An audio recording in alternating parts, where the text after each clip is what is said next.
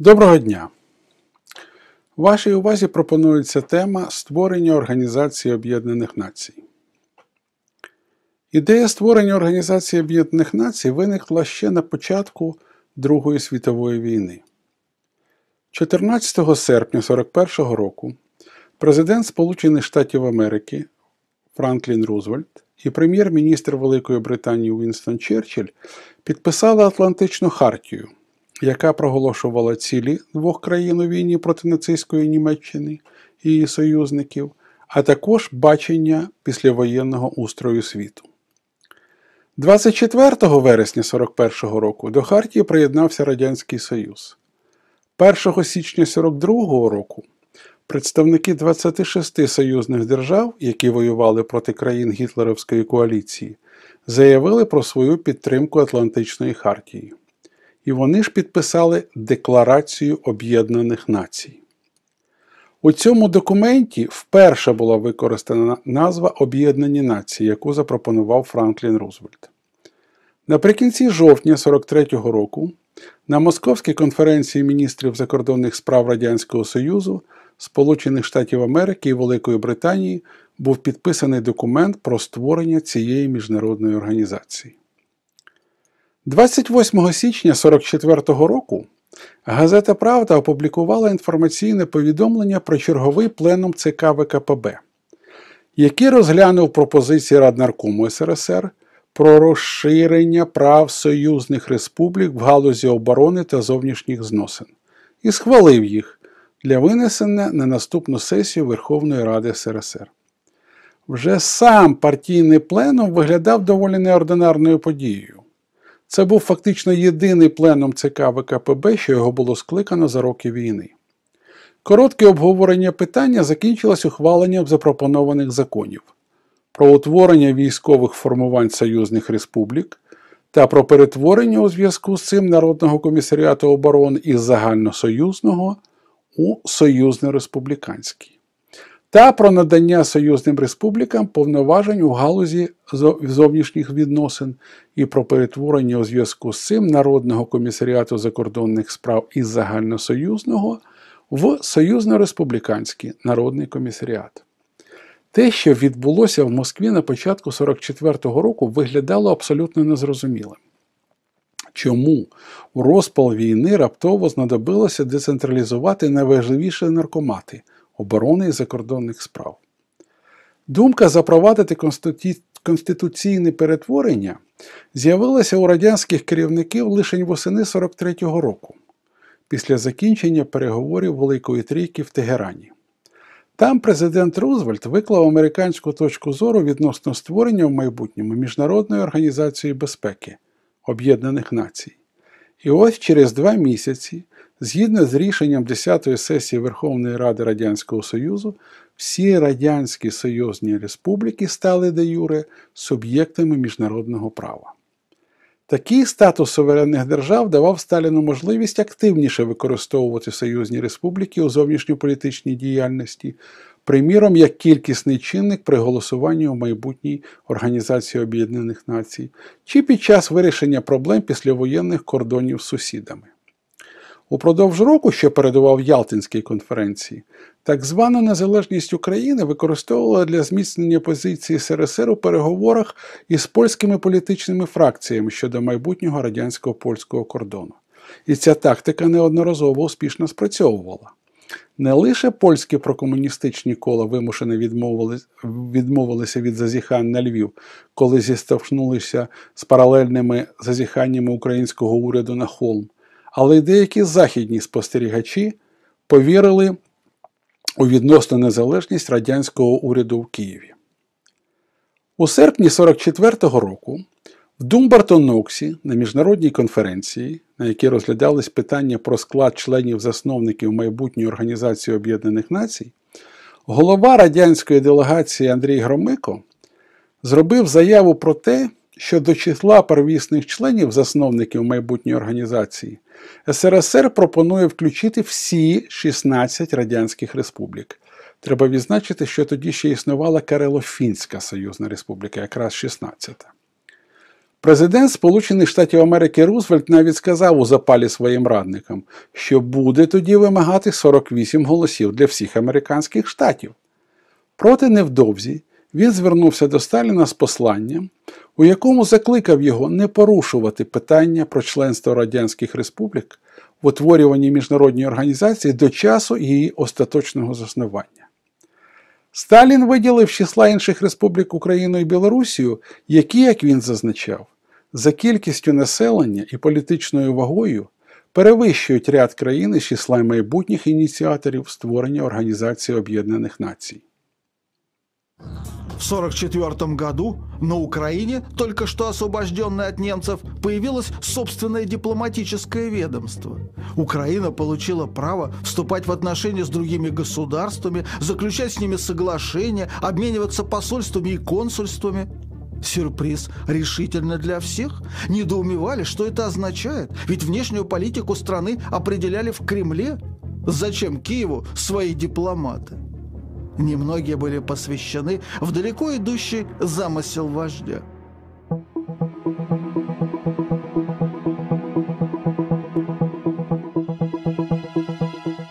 28 августа 44 советский посол в Соединенных Штатах Андрей Андреевич Громыко сделал заявление, ошеломившее партнеров по антигитлеровской коалиции. Все союзные советские республики должны быть приняты в создававшуюся тогда Организацию Объединенных Наций. Президент США Франклин Рузвельт возразил, в таком случае надо принять в ООН и все 48 американских штатов. 1 сентября он написал личное письмо Сталину. Ваше предложение ставит под угрозу создание ООН. Сталин ответил Рузвельту, Украина и Белоруссия по количеству населения и по политическому значению превосходят некоторые государства. Для нас их вступление в ООН принципиально важный вопрос. Советский вождь настоял на своем. На учредительную конференцию ООН поехали делегации Украины и Беларуси. В 1944 году поменяли Конституцию Советского Союза, и союзные республики обзавелись собственными дипломатами. Минулого року вийшла книжка відомого історика, професора історії і директора Українського наукового інституту Гарвардського університету Сергія Плохія Ялта Ціна миру. Спираючись на нещодавно розсекречені радянські документи, неопубліковані щоденники і листи, протоколи зустрічей, Сергій Плохій розповідає в тому числі і історію створення Організації Об'єднаних Націй.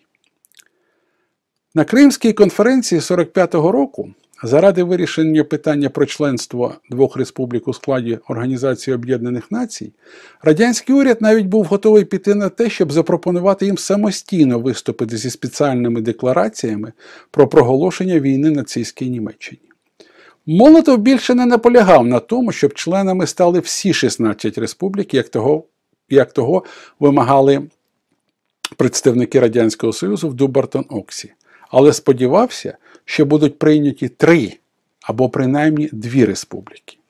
Рузвельт запитав, чи Молотов має на увазі, що республіки слід зробити членами Генеральної асамблеї? Молотов підтвердив. Він продовжив, зауваживши, що домініони британської співдружності поступово і терпляче досягли позиції суб'єктів в міжнародних справах.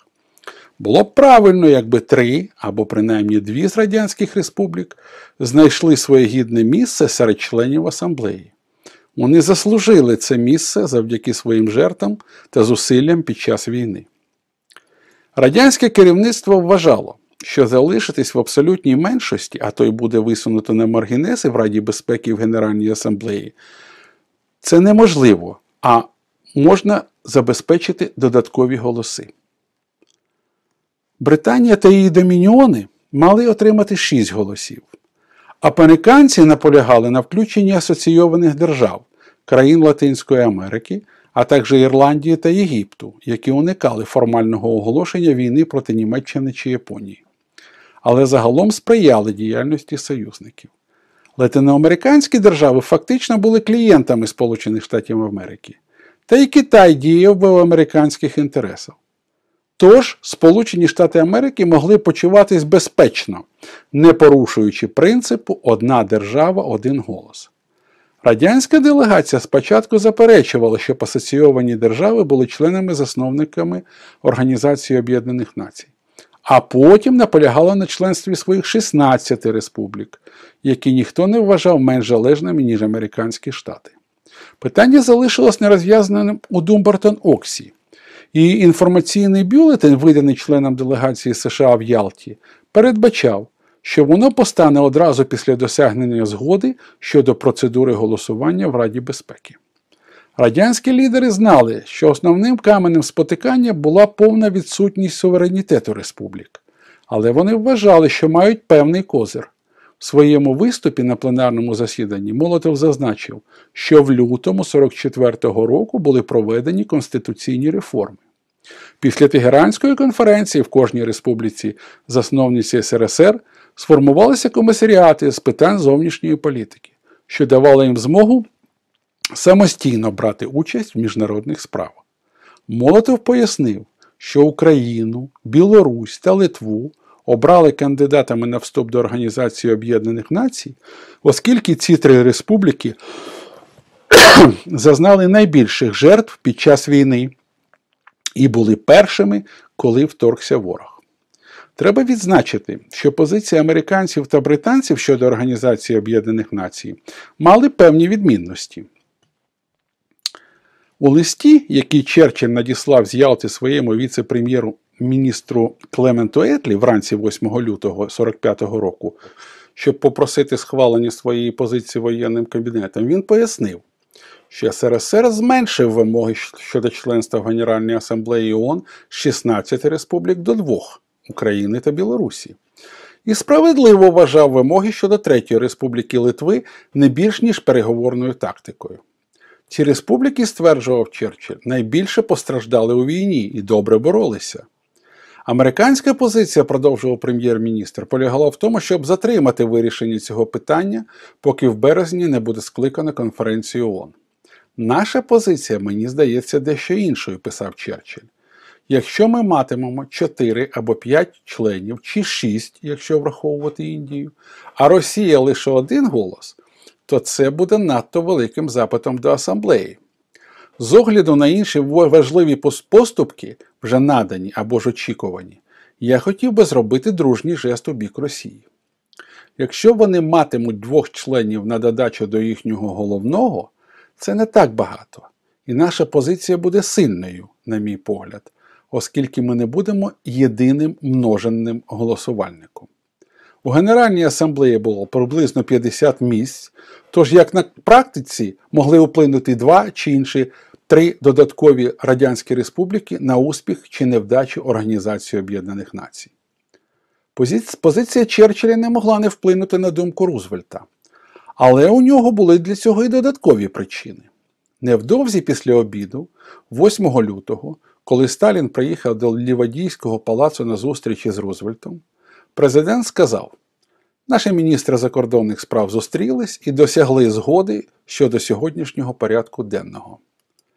Сталін негайно запитав, чи йдеться про прийняття двох радянських республік до Організації Об'єднаних Націй. Президент підтвердив. Вибір часу не міг бути кращим, оскільки засідання цього дня було присвячене одному з двох найважливіших питань порядку денного Рузвельта участі СРСР у війні з Японією. Рузвельт приурочив власну заяву про вступ двох радянських республік до ООН, маючи на думці вплинути на позицію Сталіна щодо Далекого Сходу. Пленарне засідання 8 лютого почали з заяви Рузвельта про прорив у питанні членства Радянських Республік у Генеральній асамблеї ООН. У його розумінні міністри закордонних справ могли повідомити про певний успіх, тож він хотів би привітати їх зусилля та попросити пана Ідена представити доповідь конференції. Іден повідомив, що дві радянські республіки будуть запрошені до участі в Організації Об'єднаних Націй. Але запрошення зробить не велика трійка, а делегати майбутньої установчої конференції ООН. Оголошення шокувало держсекретаря Бірца і інших супротивників радянської пропозиції в американській делегації. Мене здивувала угода, яка, на мій погляд, була дуже нерозумною, писав Бірнус у своїх мемуарах. Однак те, що Бірнс вважав необережною поступкою президента, Сталін та Молотов розглядали як половинчастий захід, на яким їм важко було погодитись. Хто знав, чи майбутня конференція дійсно запросить до участі Радянські Республіки. І тому Сталін знову зачепив питання вступу України та Білорусі до Генеральної асамблеї ООН. Чи можна назвати їх у протоколі засідання міністрів закордонних справ? Так, це було прийнятним, почув Сталін у відповідь. Молотов продовжив наступ. Чи не посприяє прийняттю цих двох радянських республік як членів асамблеї, якщо вони підпишуть декларацію Організації Об'єднаних Націй до 1 березня? Черчилль підтримав позицію Радянського Союзу.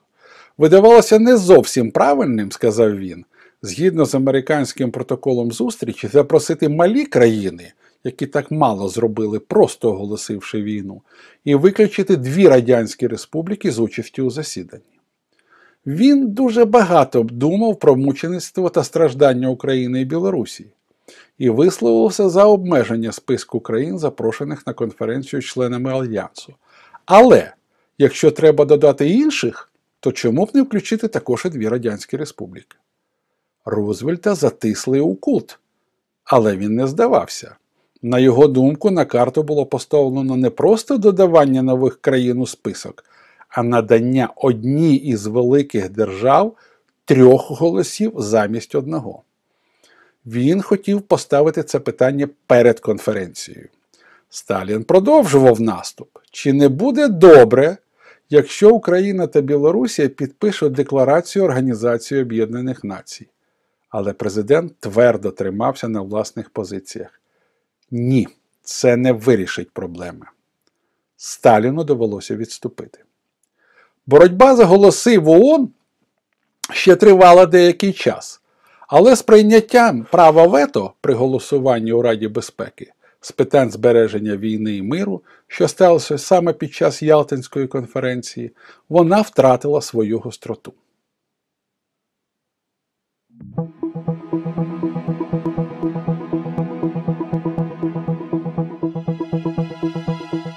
Президент Рузвельт предлагал Сталину встретиться на Средиземном море. Сталин отказался ехать, сославшись на запреты врачей. Тогда Рузвельт, который чувствовал себя значительно хуже, отправился в Ялту. Это было последнее в его жизни и, возможно, роковое путешествие. Десять дней он плыл по Атлантике на крейсере «Квинси» и высадился на Мальте. Встречавшие его американские дипломаты нашли президента изнуренным и изможденным. Делегация переночевала на Мальте и полетела в Ялту. Рузвельта разместили в Ливадийском дворце. У него единственного была своя ванная комната. В Ялте президент Рузвельт уговорил Сталина считать главу Китая Чан Кайши ценным союзником, хотя он вел борьбу с коммунистами Мао Цзэдуна. Чан Кайши занимал пост председателя Высшего Совета национальной обороны. Американцы предпочитали именовать его генералиссимусом. Советские представители согласились включить Китай в состав постоянных членов Совета Безопасности ООН, обладающих правом вето. После встречи в Ялте Франклин Рузвельт вернулся в Вашингтон 28 февраля 1945 года. В военное время он отсутствовал больше месяца. 1 марта президент выступал перед конгрессменами, говорил час. Он не мог перевернуть страницы своей речи, дрожащей правой рукой, действовал левой. А в Москве на заседании Политбюро 13 марта постановили, что в Сан-Франциско создавать ООН поедет большая советская делегация, которую возглавит второй человек в партии, член Политбюро и секретарь ЦК Андрей Александрович Жданов.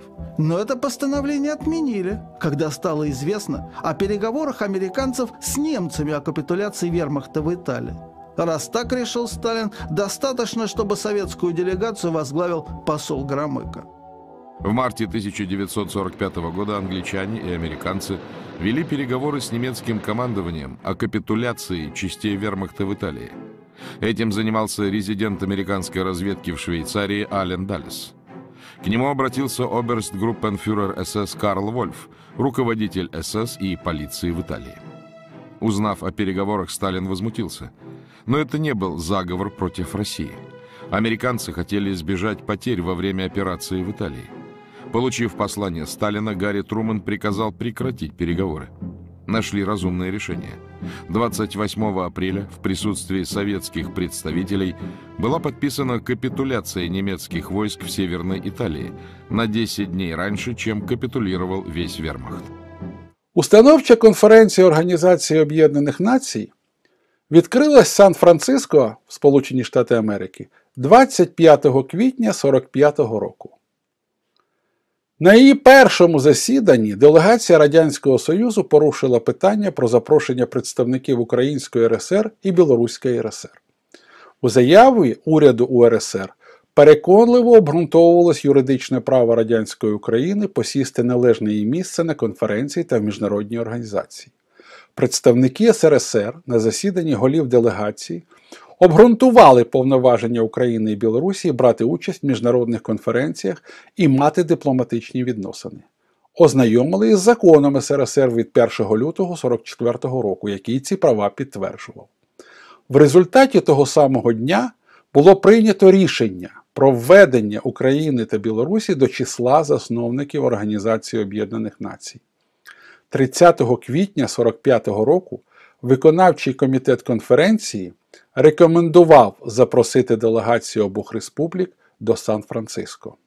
Четыре державы – Советский Союз, Соединенные Штаты, Великобритания и Китай – пригласили все государства, которые на 1 марта 45-го объявили войну хотя бы одной из стран оси, то есть Германии, Италии и Японии, участвовать в создании Организации Объединенных Наций. И вот здесь, в солнечном Сан-Франциско, вот в этих двух зданиях, в опере и здании э, ветеранов Первой мировой и была создана Организация Объединенных Наций. Президент Рузвельт рассматривал создание ООН как вершину своей заканчивающейся карьеры. Он хотел войти в историю человеком, которому удалось то, что не получилось после Первой мировой – создать международную организацию, способную избавить человечество от новой войны. 6 апреля 45-го он попросил набросать ему текст речи для Сан-Франциско, но ему не суждено было ее произнести. 12 апреля на теплых источниках в штате Джорджия Франклин Рузвельт сидел в кожаном кресле рядом с камином. Ему было 63 года. На карточном столике перед ним лежали документы, в том числе разведывательные сводки. Был уже час дня. Слуга сервировал обед. Вдруг Рузвельт произнес «У меня страшно болит голова» и потерял сознание. В 15.35 сердце Рузвельта остановилось. В 7 вечера того же дня вице-президент Гарри Труман принес присягу и принял на себя обязанности президента Соединенных Штатов. Выгодное географическое положение позволяло Америке держаться на расстоянии от конфликтов, раздиравших Европу и Азию. Однако Гарри Трумэн сказал, выступая по радио, Америка больше не может отсиживаться за воображаемой линией Мажино. Он был сторонником и широкого участия Соединенных Штатов в международных делах и создания международного механизма, который бы помогал сохранению мира. Для делегатов, которые приехали из разрушенных войной стран, яркий, солнечный, многоцветный Сан-Франциско и был олицетворением счастливого будущего без войн конфликтов. Но война на Тихом океане продолжалась, поэтому на крыше в городе стояли наблюдатели, а на самых высоких крышах установились зенитки. Правда, что такое воздушные бомбардировки, американцы не знали, потому что дальней авиации у японцев не было. Но воздушные шары со взрывчаткой и с листовками японцы запускали. Америка, как принимающая сторона, оплатила все расходы, связанные с конференцией. Соединенные Штаты были единственной страной, способной в конце мировой войны пойти на такие траты. Предполагали, что успеют все обговорить за месяц, но не управились и за два. Гостиниц в городе не хватало. Приехала делегация Норвегии, негде было разместить. Но жители города делали все, что могли. Женщины-волонтеры организовали обеды для делегатов по доллару. Организация торговли помогала им закупить все, что необходимо, а бойскауты бесплатно разносили покупки по отельским номерам. И главное, обеспечили делегатов самым необходимым – сигаретами и спиртным, шампанским, коньяком и виски. Был и бурбон, и скотч. В конце концов, советскую делегацию возглавил нарком иностранных дел Молотов. А в бухту Сан-Франциско вошло советское судно с грузом водки и икры из советской делегации, которая состояла из 122 человек. Американцы опасались, что на борту судна есть аппаратура, позволяющая перехватывать телеграммы, которые сотрудники Государственного департамента отправляли из Сан-Франциско в Вашингтон.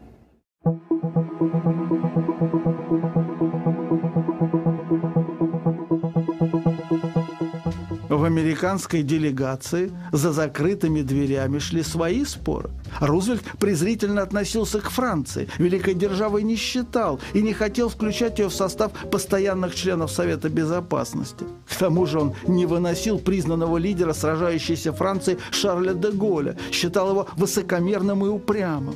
Новый президент Гарри Трумэн снял возражение. Франция вошла в пятерку великих держав.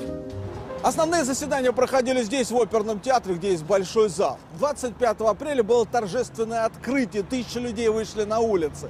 С бесспорной звездой был наш Вячеслав Михайлович Молотов, которого все узнавали и восторженно приветствовали. Правда, отношение к нему довольно быстро испортилось, потому что он ходил в окружении большого числа телохранителей и на отрез отказывался отвечать на вопросы журналистов, что для американцев было очень странно.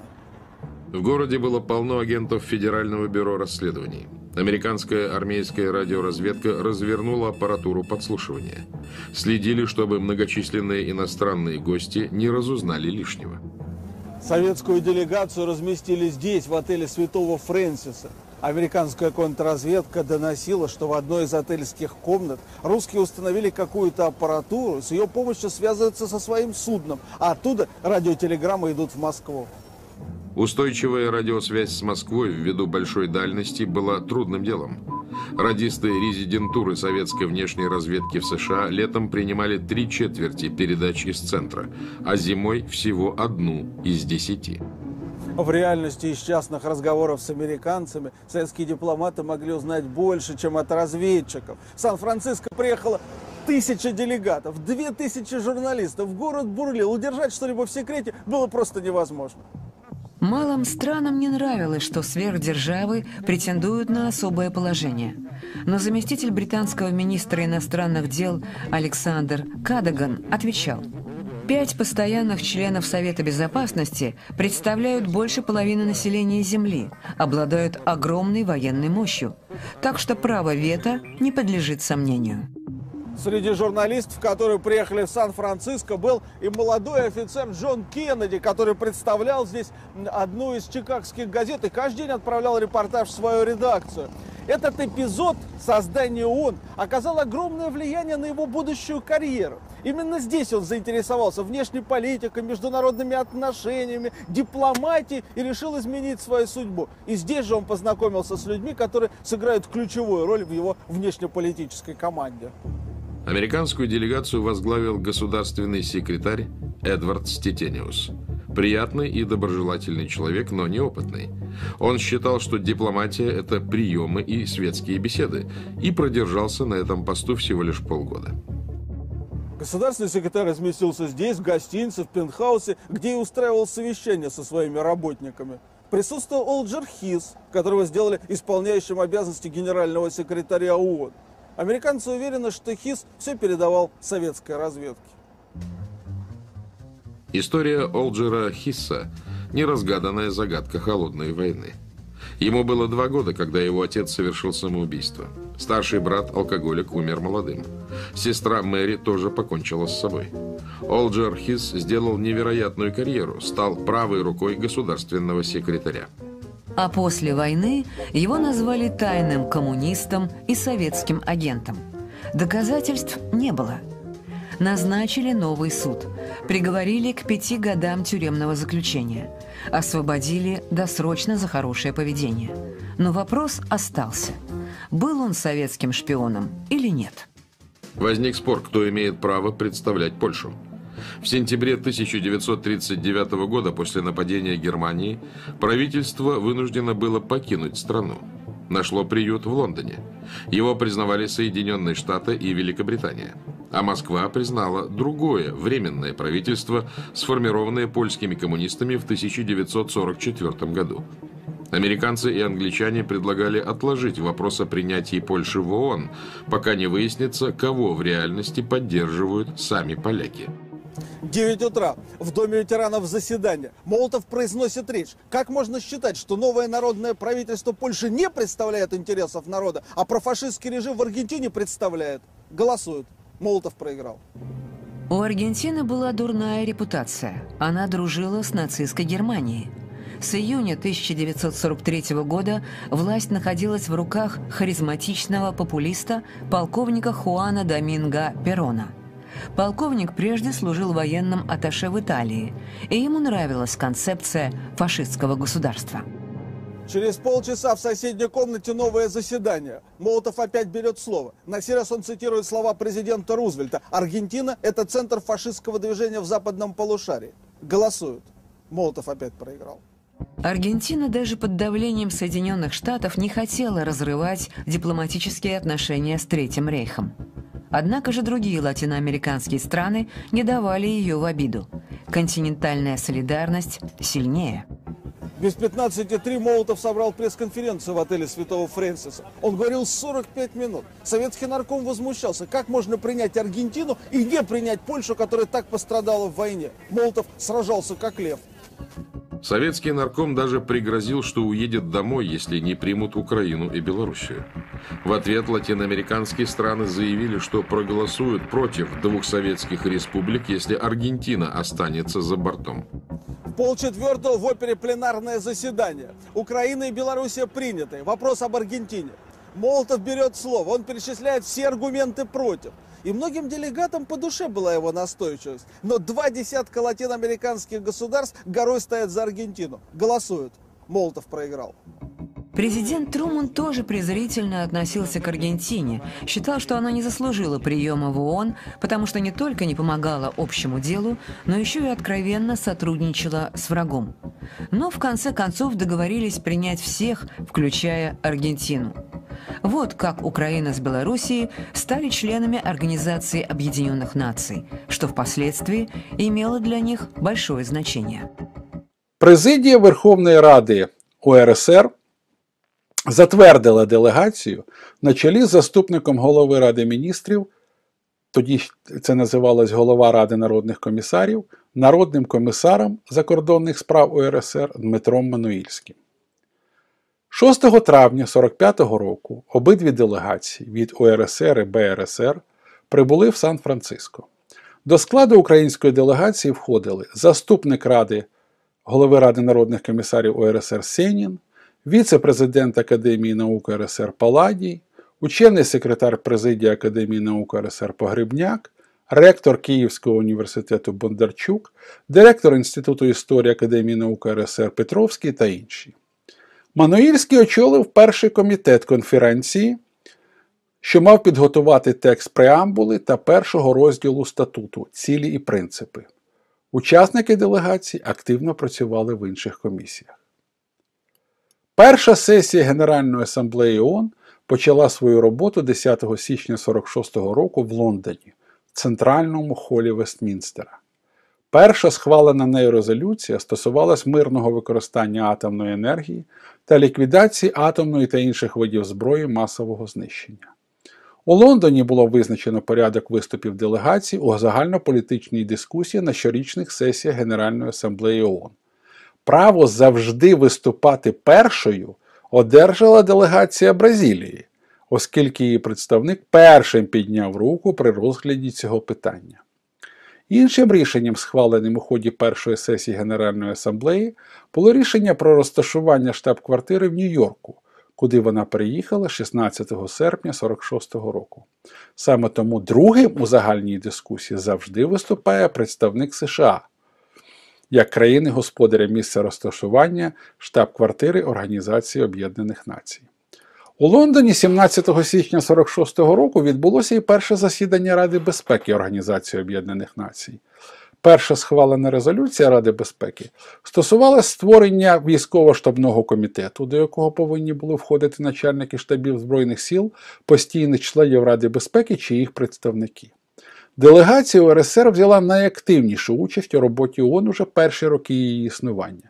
Вона рішуче виступала за зміцнення миру і розвиток міжнародного співробітництва і внесла чимало пропозицій до тексту статуту ООН, тимчасових прав процедури Генеральної асамблеї Організації Об'єднаних Націй. В Організації Об'єднаних Націй на сьогодні є шість головних органів. П'ять з них Генеральна асамблея, Рада безпеки, Економічна і соціальна рада, Рада з опіки і секретаріат розташовані в центральних будівлях Організації Об'єднаних Націй в Нью-Йорку. Шостий орган, Міжнародний суд, знаходиться в Нідерландах, в Гаазі. Всі держави, члени Організації Об'єднаних Націй, представлені в Генеральній асамблеї, Всесвітньому парламенті, який збирається на черговій і спеціальній сесії для розгляду нагальних проблем людства. Кожна держава-член має один голос. Рішення по таких ключових питань, як підтримка миру і безпеки, прийом нових членів і затвердження бюджету ООН, ухвалюються більшістю в дві третини голосів. Рішення з інших питань ухвалюються простою більшістю голосів. Чергові щорічні сесії асамблеї проводяться в період з вересня по грудень. Роботи асамблеї такої здійснюють її шість головних комітетів, інші допоміжні органи і секретаріат Організації Об'єднаних Націй. Згідно статуту Організації Об'єднаних Націй, Рада безпеки безпосередньо відповідає за підтримку миру і безпеки у всьому світі. Вона може бути скликана у будь-який час у разі виникнення загрози миру. Статут зобов'язав всі держави-члени виконувати рішення Ради безпеки.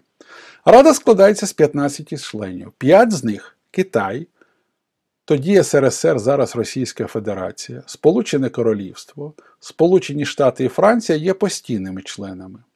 Інші 10 членів Ради обираються Генеральною асамблеєю на дворічний термін. Спочатку до її складу входило 11 країн, зокрема і 5 постійних членів, наділених правом вето. До 71-го року місце Китаю в Генеральній асамблеї та Раді безпеки ООН займав Тайвань. Розширення складу Ради безпеки ООН до 15 членів сталося шляхом внесення відповідної поправки до статуту ООН і набула чинності 31 серпня 1965 року. Рішення Ради вважаються прийнятими, коли за них проголосували 9 її членів. За винятком голосування з процедурних питань рішення не може бути прийняте, якщо хто-небудь з постійних членів Ради проголосує проти, тобто використає своє право вето. В разі розв'язування бойових дій Рада вживає заходів задля припинення вогню.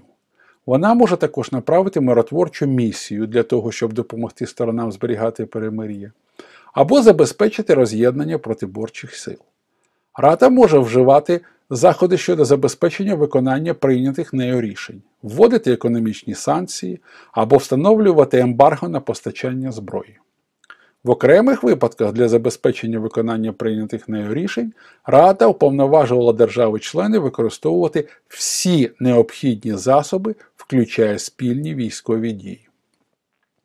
Рада безпеки також представляє Генеральній асамблеї рекомендації щодо кандидатури на посаду генерального секретаря та щодо прийому в Організацію Об'єднаних Націй нових членів. Рада соціально-економічних питань координує діяльність Організації Об'єднаних Націй установ її системи в економічній і соціальній сферах. Будучи головним форумом для обговорення міжнародних економічних і соціальних проблем і вироблення рекомендацій щодо політики в цих сферах, до складу Ради входять 54 члени, які обираються Генеральною асамблеєю на 3 роки. Рада опіки була створена для забезпечення міжнародного спостереження за 11 підопічними територіями, що знаходились під управлінням семи держав-членів, а також для забезпечення того, щоб їх уряди докладали необхідних зусиль для підготовки цих територій до самоуправління або незалежності. До 94-го року всі підопічні території перейшли до самоуправління чи стали незалежними як самостійні держави, чи приєднались до сусідніх незалежних держав. Останньою перейшла до самоуправління підопічна територія Тихоокеанські острови Палау, що знаходилося під юрисдикцією Сполучених Штатів Америки і стала 185-ю державою-членом Організації Об'єднаних Націй. Оскільки робота Ради з опіки завершена, до її складу в даний час входять 5 постійних членів Ради безпеки. Міжнародний суд, відомий також як Всесвітній суд, є головним судовим органом Організації Об'єднаних Націй. Його 15 суддів обираються Генеральною асамблеєю і Радою безпеки. Вони проводять голосування незалежно і одночасно. Міжнародний суд займається врегулюванням суперечок між державами на основі добровільної участі зацікавлених держав. Якщо держава погоджується взяти участь у судовому процесі, то вона зобов'язана підкорятись рішенню суду. Секретаріат проводить оперативну та адміністративну роботу організації відповідно до вказівок Генеральної асамблеї. Секретаріат складається з департаментів, управлінь, де працює близько 7,5 тисяч чоловік, посади яких фінансуються за рахунок регулярного бюджету. Окрім центральних установ Організації Об'єднаних Націй, розташованих в Нью-Йорку, існують відділення Організації Об'єднаних Націй в Женеві, Відні і Найробі, Кенія. Крім того, ціла низка управлінь, програми фондів Організації Об'єднаних Націй, таких як Управління Верховного комісара Організації Об'єднаних Націй в справах біженців, програма розвитку Організації Об'єднаних Націй, Дитячий фонд Організації Об'єднаних Націй займаються поліпшенням соціального та економічного становища людей у всіх регіонах світу. Вони підзвітні Генеральній асамблеї або Раді соціально-економічних питань. Разом з Організацією Об'єднаних Націй вони складають єдину сім'ю або систему Організації Об'єднаних Націй. Свого часу, в перші 45 років існування, Україна виявила чимало ініціатив в розробці міжнародних питань, перебуваючи в рамках Організації Об'єднаних Націй. Але, як стверджує багато українських вчених, дипломатів, присутність нашої держави ООН була дуже в обмеженому і сподпореному вигляді. Делегація України могла захищати власні інтереси під пильним наглядом старшого брата, бо завдяки англійській абетці делегація СРСР завжди розміщалась відразу праворуч української. Але вже після проголошення незалежності України участь в діяльності Організації Об'єднаних Націй було визначено одним з пріоритетних напрямів зовнішньої політики нашої держави.